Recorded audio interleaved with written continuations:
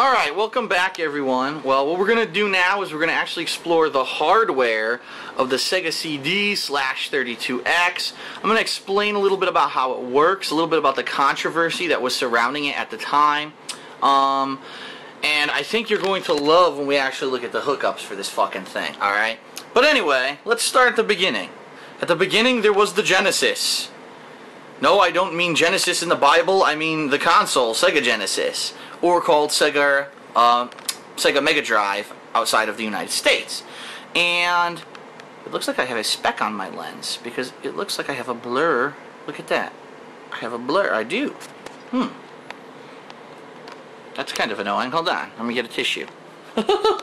so anyway, yes, the Genesis started it all.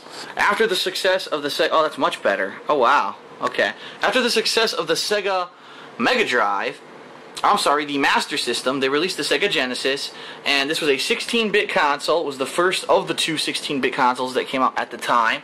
Um, and uh, this is actually the Genesis Model 2. Okay, there were two different models of Genesis. I, I, take that back. There were three different models of Genesis. The first model of the Sega Genesis is actually the one that I owned when I was a kid. It was wider. Maybe it came out to about here. Okay, and it actually had this odd circular shape on top where you would plug your cartridges into the top of it. Okay.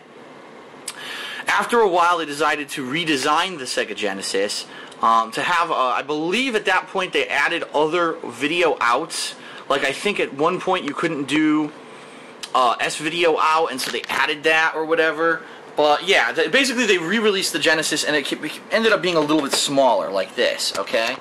Now that being said, since the original Genesis was actually bigger, okay, the original Sega CD was a motherfucking beast, okay? It looked nothing like this. The original Sega CD kind of looked like a VCR. Now, if you've never seen a VCR, go look one up on the internet.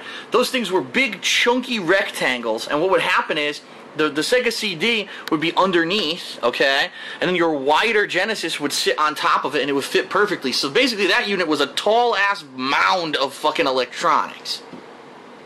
They ended up redesigning it because they wanted to have a more compact look. And so what they did is they designed this. All you have here at the Sega CD is that it's a CD drive, as you can see. That's where you put your CD inside of it. And your Genesis actually plugs into it like so. As you can see, the Genesis is actually plugged into the side of it almost like a cartridge is exactly what it is. This model of Genesis had an expansion port on the side, the shape of a cartridge, and it would uh, plug into the Sega CD like so and become one unit, okay? Now, as I said, there was an older version of the Genesis as well that was much wider. It was about this wide. So what actually happened, there's an expansion piece for the side of this Sega CD that adds a good two to three inches on the side here so that the old Sega Genesis could fit on it and you would just like there were hooks on the bottom of it that you would use to hook the system into place on top of the Sega CD. It looked like a mess, okay? It really did. It looked like a horrendous mess. Now, some of the complaints, the initial complaints about this setup was that each unit itself actually needed a power adapter. That's right. Now we're not talking, oh, a plug, you know, a little power plug that you plug into anything, you know, like one of these. We're not talking like a normal plug. We're talking one of these motherfuckers. This is actually one of the cords for the Sega CD. It's plugged in. These monstrous power blocks. And so a lot of people complained and said, "Look, this is kind of ridiculous. You know, we already have a giant power box plugged in for the for the Sega Genesis. Obviously, we've probably got our TV hooked up. You know, now you want us to plug in the Sega CD? We've got two gigantic fucking power blocks plugged in. How are we supposed to do anything with that? Okay, so." Some of the Sega CD games very easily can be played, you know, Sewer Shark. All you do is you open this sucker up, you put your CD in, you turn it on, and what would actually happen was the system would override the Genesis and realize that there was actually a disc located inside of the Sega CD, and it would boot that disc for you. So it kind of overrode the Genesis in a lot of cases, okay? Pretty simple. Nothing too complex. load times. Load times for games on the Sega CD surprisingly weren't that long. And what I mean is, later generations of consoles, like the PlayStation 1 for example, had significantly longer load times than the Sega CD keep in mind that those systems were actually using 3D graphics as opposed to most of the games, if not all of the games on Sega CD, were still 2D side scrollers and or full motion video, which is just loading a video that you'll load off of directly off of the CD. It's not trying to render graphics or anything based off of a CD, and I really think that's probably why it had some quicker load times than the the, the later PlayStation 1, okay? So that was around 1992 this came out went into 93 and during this period of time, you know, these lines of games came out. Like I said, there was the controversy about how Night Trap was adult oriented or whatever, blah, blah, blah. So while all this is going on, Sega was actually developing another system. It was called the Sega Neptune, okay? And what the Sega Neptune was supposed to do was actually take cartridges, traditional Genesis cartridges, and make them 32-bit. At this point, we were going heavily into the bit wars, okay? Where the Genesis was 16-bit, the Sega CD was a CD add-on for it, so it was still technically 16-bit, but it had the capability of playing video, of doing high-res graphics, of doing CD quality music, and Sega said, oh, well, since this whole war is about catchphrases, and, you know, Genesis does what Nintendo don't, and yada yada yada. They said we need to really be the first company to jump to the next level. And what they announced is that they were going to have a 32-bit system. And what it was going to be called was the Sega Neptune. It was going to be a standalone system. You wouldn't need a Genesis. You wouldn't need a Sega CD. It would just be a Neptune where you could load cartridges, it would still be cartridge based, but it would be 32 bits, okay? So it was kind of weird, because when they announced that, they were like, well, aren't you kind of abandoning the Sega CD? Like, why are you saying that you're going to go back to cartridges if, the, the if you know, CDs were the future, you launched this, uh, an add-on that did CDs, but now you're going back to cartridges. It, it was kind of confusing. So what ended up happening was they released the, what was called the Genesis, and I'm going to show you here. A lot of people don't even know that it's called the Genesis 32X. It's called the Genesis 32X. And what this was, was an add-on. Another add-on for your Sega Genesis. And this one actually fit either the classic or the, the, the newer model Genesis. And what this did was allowed you to play a new line of games, cartridge-based games, called 32X games. And as you can see, they're about the same size as Sega Genesis games. Um, and now this really confused the hell out of everyone at this point. All right. First of all, you've got your price point. The Sega Genesis at the time, keep in mind, this was the 90s, cost anywhere, uh, really around $300. Eventually they lowered the price to like 200 and then, uh, and then 150. But at the time, you're still going to pop a couple hundred bucks to get yourself a Sega Genesis. The Sega CD on launch cost about $300. Then, of course, later on, the price got reduced to around 200 So now you're dropping, you're going to drop another couple hundred dollars on the Sega CD. Now you want us to buy another fucking add-on. Like, really? You want us to spend another, this was actually $200 at launch, another, so you're talking 2 or 250 plus another 2 or 250 plus another 200, $700 for this console if you want it in its entirety, okay? That was complaint number one. Complaint number two is that once again, the 32X required its own fucking power source. And we're not talking a cord. Take a look at my power adapter over here. That's what it takes to hook up this fucking beast three giant black power blocks, okay? It's a mess. It's a fire hazard. It's really dangerous. And who at that time, honestly, was using these kind of surge protectors? Nobody. Everyone had those old school power strips that were long. On a single power strip, you can't even fit these three monsters. I can barely fit them on this fucking thing. So it was another major complaint. Why on earth do we need three power adapters to even hook this fucker up? And that's not even the worst part. look at this thing. Just look at it. It looks like a fucking Terminator cyborg. Like, there's so many fucking wires on it. It's absolutely ridiculous. So what do we have here? Let's start on the bottom. This is your Sega CD, okay? Now the Sega CD, if we didn't have this guy up here, the 32X uh, uh, uh, attached, what you would want to do is you would have your power cord and you would have your audio out coming out of that, okay? Then you would have your video out coming out of your Genesis. Here's your power, here's your video out. Because we have the 32X hooked up, it's actually even more complicated. So now we've got a power cord here. We've got a special link cable linking the Genesis to the 32X, and the 32X has its own video out cord.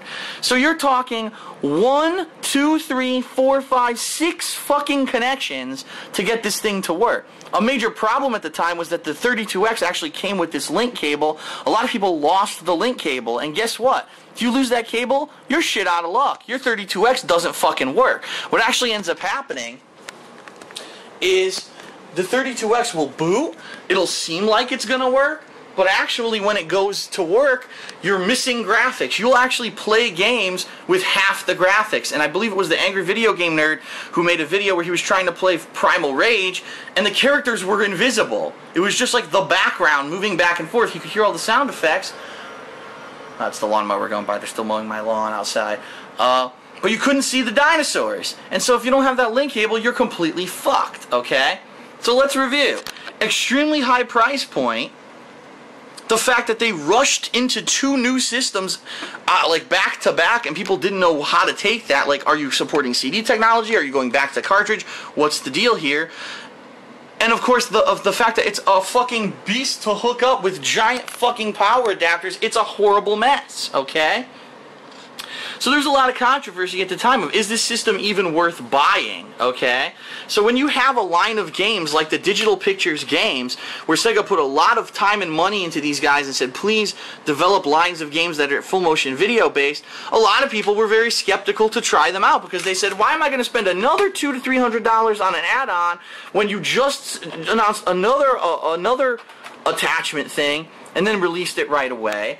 It wasn't. It was very very it was chaotic at the time because then of course keep in mind Sega wasn't the only company in the game. You had Nintendo who had the impending release of the Super NES then they actually released the Super NES around the same time as you know the Sega CD and you saw that the graphics were much better than the Sega Genesis yet it was still 16-bit and the music was actually really good. It wasn't CD quality but the music was really good on the Super NES and a lot of people said well I can just spend you know two to three hundred dollars on this one console and get better graphics and better sound. Why would I spend all this money for fucking add-on upon add-on upon add-on.